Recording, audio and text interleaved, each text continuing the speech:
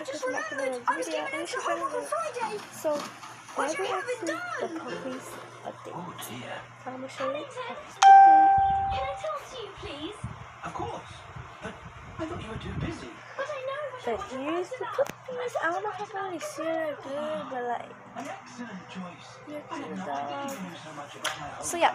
But- That's why I need your I'm gonna help. play Well then, we'd better get cracking. This is my memory box. I look through it every night before I go to sleep. To check everything is still there. Mostly to check if everything is still here.